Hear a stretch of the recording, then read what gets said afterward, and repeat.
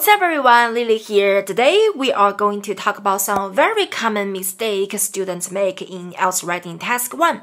As you may or may not know, a key factor in scoring high in the grammar part is not to write super long complicated sentences, but to constantly produce error-free sentences. As you can see in my score explainer, one of the reasons why I was able to score a 7 in the writing test is that many of my sentences were correct. I made only a few mistakes with grammar and punctuation. So the goal of this video is to help you avoid mistakes so that you can write error-free sentences and score higher in grammar. First of all, let's talk about the verb fluctuate. Many people use it when there is only little change. This is incorrect because to fluctuate means to change continually or irregularly. For example, for these two lines, we can use fluctuate and say that overall, the number of shops that closed and the number that opened both saw large fluctuations. We can use the fluctuations here because the numbers changed continually and irregularly. However, we shouldn't use fluctuates to describe these three categories in this chart. Take this category for example. Don't say that the percentage of people who ate in fast food restaurants several times a week fluctuated during the 10 year period. First of all, there are only three data points. To fluctuate means to change continually Therefore, you would require more than three data points to use it. Apart from that, the number didn't change irregularly. So what verb should we use to describe this category? Well, we can use range or vary. We could say that the proportion of those eating in fast food restaurants several times a week ranged or varied between 15 and 20%. Let me give you another example. This graph shows goods transported in the UK. Some IELTS guru teach students to write the overview like this.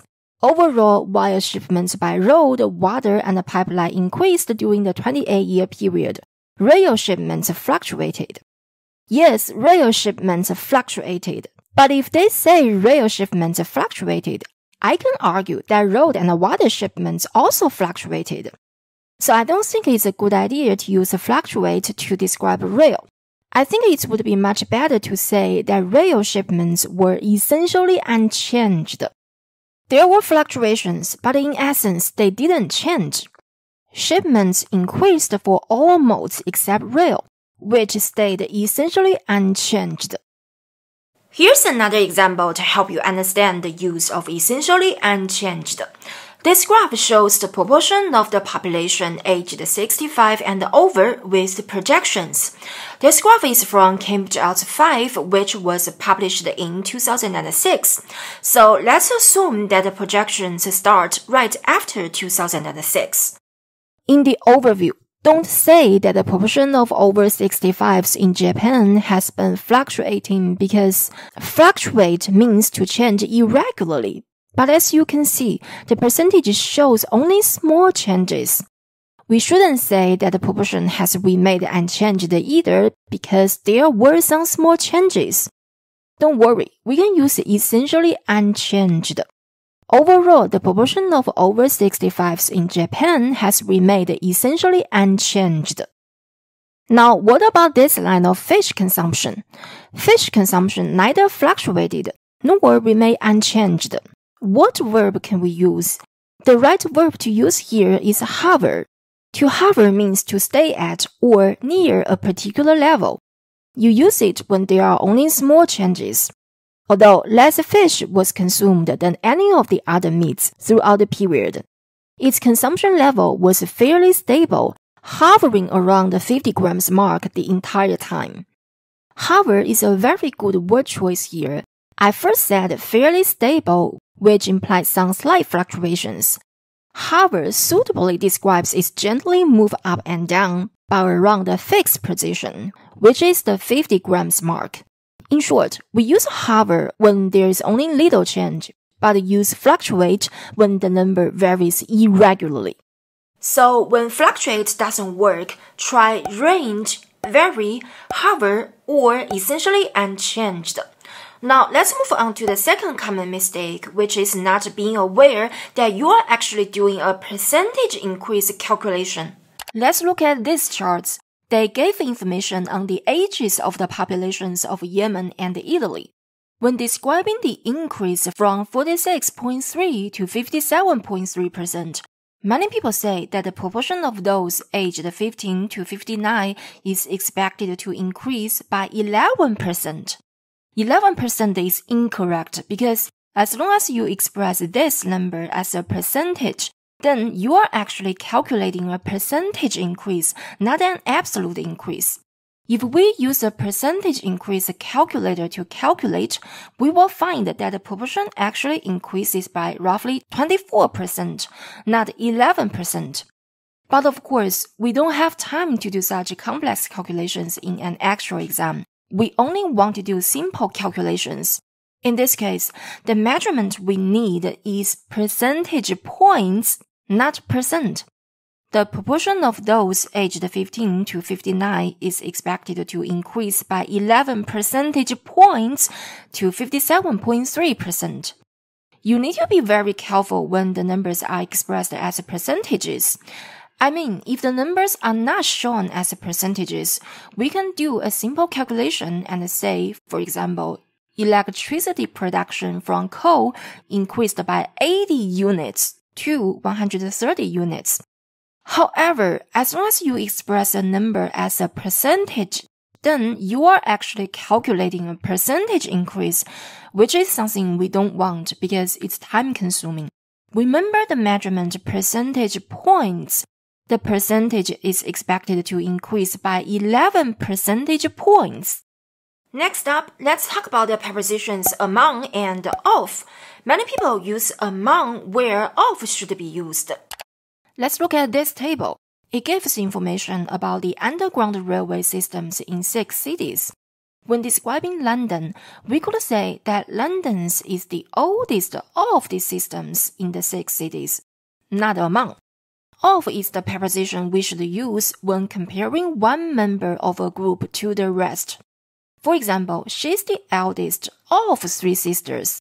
She's a member of a group formed by three sisters, and I'm comparing her to the rest of the group, so of should be used. In this sentence, London's is short for London's system. I'm comparing London's system to the systems in the other cities. London's system is a member of a group formed by six systems, and being part of a group always uses of or out of. Yes, out of also works, but don't use among. Here's another example. This graph shows the percentage of households with electrical appliances. When reporting washing machines figure in 1920, we could say that washing machines were the most common of the three electrical appliances in 1920, with ownership reaching 40% of households. Here, we should use of, not among. Try to interpret it this way. Washing machines were the most common appliance of the three electrical appliances. Washing machines are a member of a group formed by three electrical appliances. You can't say member among being part of a group always uses of or out of. Now, I'm going to show you a very useful expression you can use to make comparisons. When you want to point out the highest percentage in a year, you can always say that the percentage is the highest percentage of something. Let's still use a washing machine's figure in 1920 as an example. We could say that 40% of households owned a washing machine in 1920, the highest percentage of the three electrical appliances that year. Of is the best preposition to use here. You could use among, but of is simpler and more usual. You may think, oh, this is wrong. You are comparing a percentage to electrical appliances. You could interpret this part this way. 40% is the highest percentage of the three percentage figures for ownership of electrical appliances. But of course, no one would say this. It's wordy. We simply say the highest percentage of the three electrical appliances. I'm explaining this to you because I don't want to leave the impression that I'm comparing a percentage to appliances. As you can see, what is being compared here are the three percentages. We are comparing the percentage of households owning a washing machine to the percentages of households owning the other two appliances. 40% is a member of a group formed by three percentages, and being part of a group always uses of. Now, let me use another example to show you how useful this expression can be. For this line graph, we can make a comparison here at the end of the period. We can say that this percentage is the highest percentage of the three countries. The proportion of over 65s in Japan is predicted to double to 10% by 2030 before soaring to 27% by 2040 the highest percentage of the three countries that year. Again, I'm not comparing a percentage to countries. I'm comparing three percentages. Try to interpret it this way.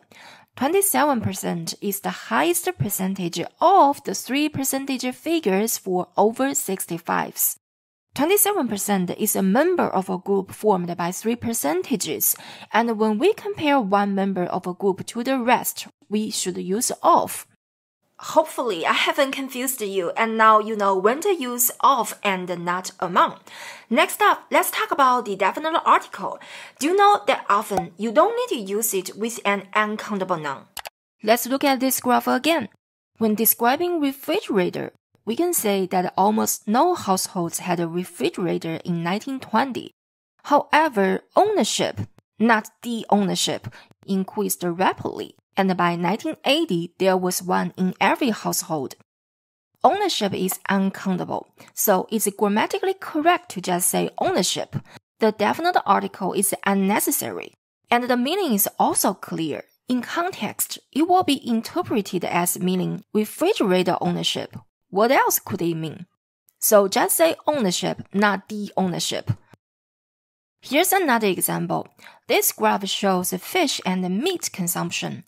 When describing beef consumption, we can say that despite a handful of large fluctuations, beef remained the most commonly consumed meat before 1989, averaging 180 to 240 grams per person per week.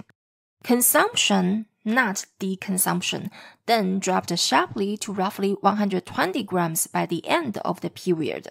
Consumption is uncountable. The definite article is unnecessary here Readers understand that consumption in the second sentence refers to the consumption of beef.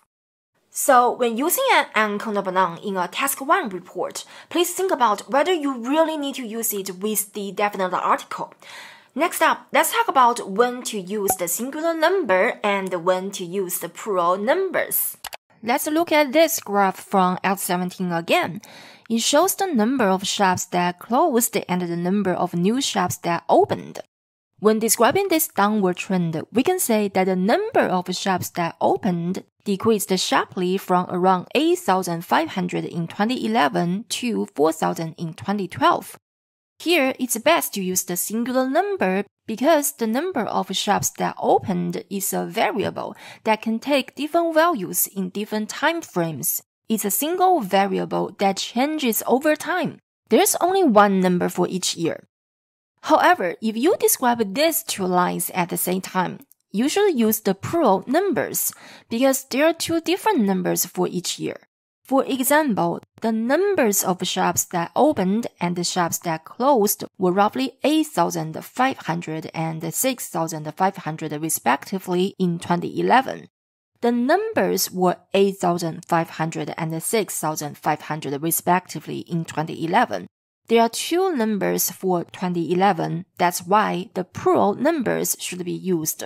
This version is grammatically correct, but it's written in a bad style.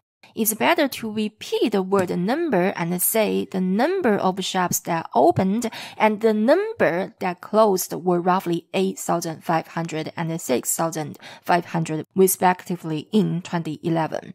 This one is much more clear. So when there are two numbers for each year, you either use the plural numbers or use the word number twice. Hopefully now you know when to use the singular number and when to use the plural numbers. The next common mistake I'm gonna talk about is still related to the definite article. Many English learners think superlative adjectives always take the definite article, like the highest, the lowest. Well, this is not true. Let's look at this graph. It shows the percentage of Australian men and women doing regular physical activity. For women, we can say that their participation was highest in the 45 to 54 age group. Here, we should use highest, not the highest. We use highest without the definite article when we are comparing something with itself in different circumstances. That is to say, we don't use the definite article when we are comparing the same thing. Here, we are not comparing women's participation to men's.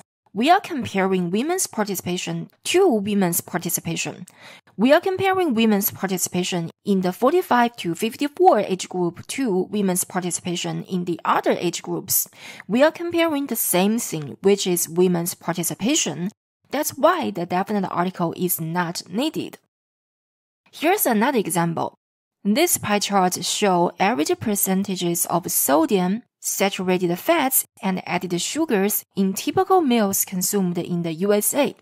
The first chart represents sodium consumption. As you can see, sodium consumption is highest at dinner.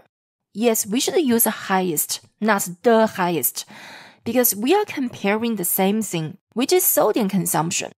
We are comparing sodium consumption at dinner to sodium consumption at other meals. So please keep in mind that superlative adjectives do not always take the definite article. Finally, let's talk about the most common mistake among students, which is paraphrasing at the expense of accuracy. I don't know who told you that you can't use the original wording. Well, this is definitely not true.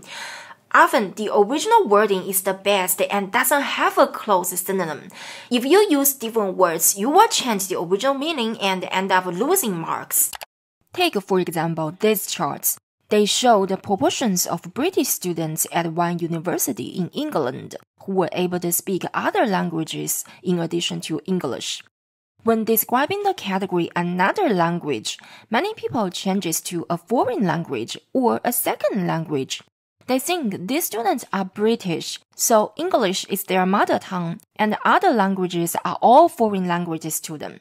But don't forget that many British people's parents are immigrants, so these people could be bilingual. Consider British people of Indian descent. English and Hindi could both be their mother tongues. They wouldn't call Hindi a foreign language, would they? So don't say the proportion of those who were able to speak a foreign language increased. Stick to the original wording and another language. Now let's look at these graphs. They show what UK graduate and postgraduate students who did not go into full-time work did after leaving college. Note that the charts use the verb did, what they did after leaving college. Some did part-time work, some did voluntary work, and some did further study. You should really stick to the original verb did and not use verbs like choose or opt. Don't say something like, around 30,000 graduates chose to do further study. How do you know they chose this path? Maybe their parents chose it for them. Perhaps their parents forced them to do further study. They might actually hate school. You should really just use did. Around 30,000 graduates did further study. Or we can use study as a verb. Around 30,000 graduates studied further. Changing the form of a word doesn't work every time. So don't be afraid of repeating the original wording. Don't be afraid of repeating individual words. It's unavoidable. To vary a language, try to use different grammatical constructions. For example, when writing your report, you may need to say two to three times that this category is the biggest. You may need to say it in the overview paragraph Overall, the most common destination for graduate students was further study. You may also need to say it in details paragraphs. At nearly 30,000, graduates who continued on to further studies greatly outnumbered their counterparts who ended up in other situations. As you can see, Even though I didn't change the original wording in further study, the two sentences have different grammatical constructions. In the overview paragraph, I used most common destination to show that further study was the biggest category.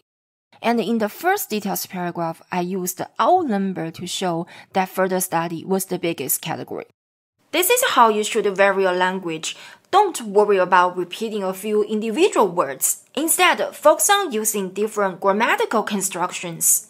I've covered a lot of information in this video. Let's recap what we've learned.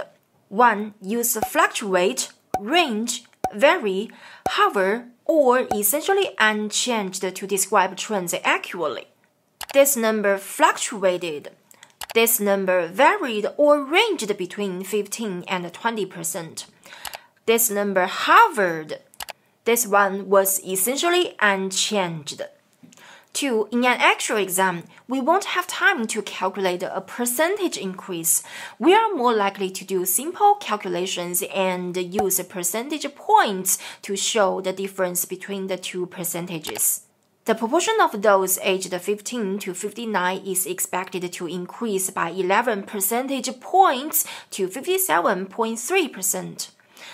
3. Use the preposition of, not among, when comparing one member of a group to the rest.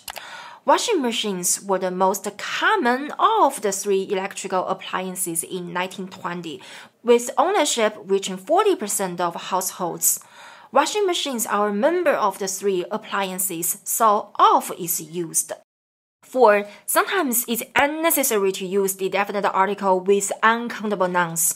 For example, we say 40% of households owned a washing machine in 1920. Ownership then increased to 70% in 1960. We don't need to say the ownership. 5. Superlative adjectives don't always take the definite article. For example, we say that women's participation was the highest in the 45 to 54 age group, not the highest. 6. Use the singular number when the number you are reporting is a single variable that changes over time.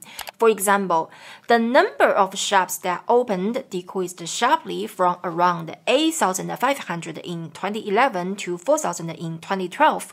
However, when there are two different numbers or percentages for each year, the plural form should be used. The percentages of men and women in the youngest age group who did regular physical activity were 52.8 and 47.7% respectively in 2010. Uh, finally, don't paraphrase at the expense of accuracy.